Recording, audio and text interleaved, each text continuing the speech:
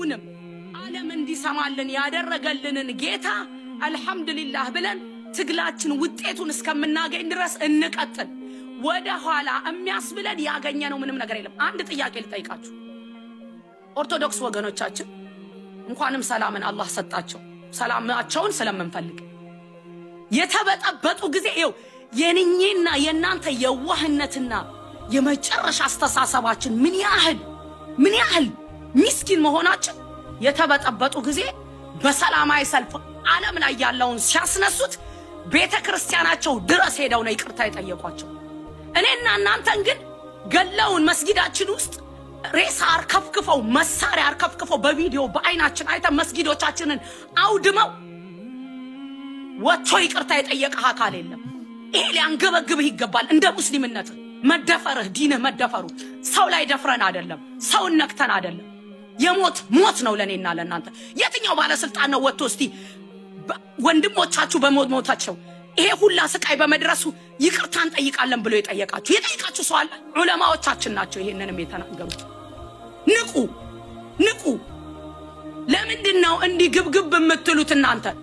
ወንድሞቼ የሞቱት ከእናትና ከአባቴ ባይወለዱ በላኢላሃ ኢለላህ ወንድሞቼ ናቸው። የእኔ ወንድሞች መስጊድ ሄደው እንዳልተመለሱ አድርጌ ነው ማስበው። እኔ ያኔ ነው ህመሙ የሚገባችሁ፣ ያኔ ነው ህመሙ የሚገባችሁ። መስጊድ የአላህ ቤት ነው። የምትኖርበት ቤትና የምትኖሪበት ቤት ቢነካብሽ ኖሮ ዛሬ ዝጊ ዝጊ ውስጥ አትገቢም ነበረ። ምክንያቱም ከቤታችሁ ሞተ የሞተባችሁ ጊዜ ለምን ያህል ጊዜ ከሙዚቃ እንደራቃችሁ እናውቃለን። ሁላችሁ አላህን ፍሩ። አላህ ያደረገላችሁን ውለታ በዚያ አትመልሱ። አንድን ጁማ በሰላም አላህ እንዲሰገድ ያደረገ ጌታ ሐምድን በሙዚቃ አይደለም የምትመልሱት። ሐስቡን አላህ ወኒዕመል ወኪል።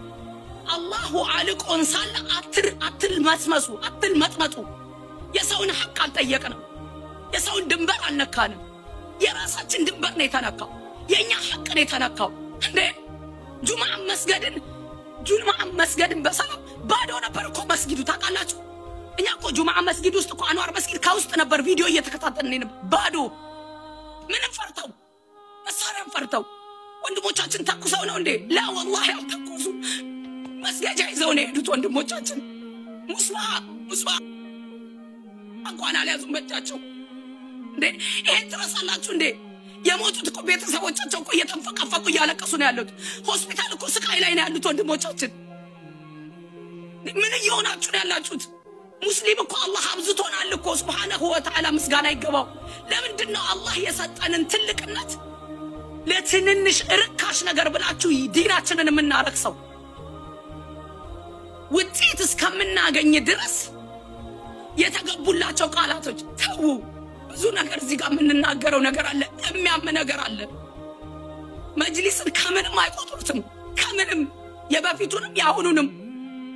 አላሁ ረቡል ዒዛ ግን ኃይሉ የሱ ስለሆነ ዓለም እንዲነሳ አደረገ። የኔ ጌታ ስብሓነሁ ወተዓላ ዓለም ስለተነሳና ደብዳቤ ስለተጻፈላቸው ነው ስብሰባ የሚያስቀመጧቸው። ንቁ።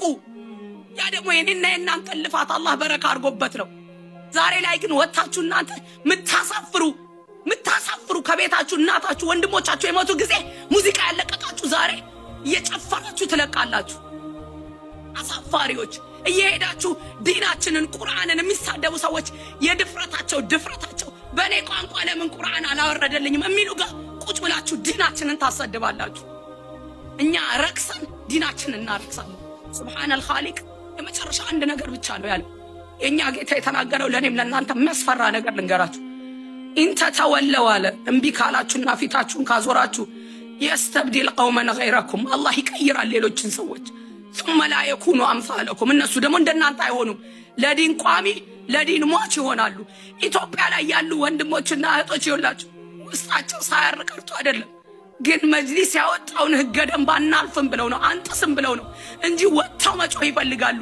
ወጥተው ተቃውሞ ማሰማት ይፈልጋሉ። ወጥተው ህመማቸውን መናገር ይፈልጋሉ። የደረሰባቸውን ግፍ ግን የመጅሊስን ህግ አናልፍም ብለው ነው። እኔና እናንተ ደግሞ social media ላይ ያለ ነው ይሄ ነገር ቦታውን ይዞ እኛ ከመንግስት ጋር ጸብ የለንም። እስልምናን እያጠፋ ካለ ጋር ነው። መስጊዶቻችንን ካፈረሰ ጋር ነው።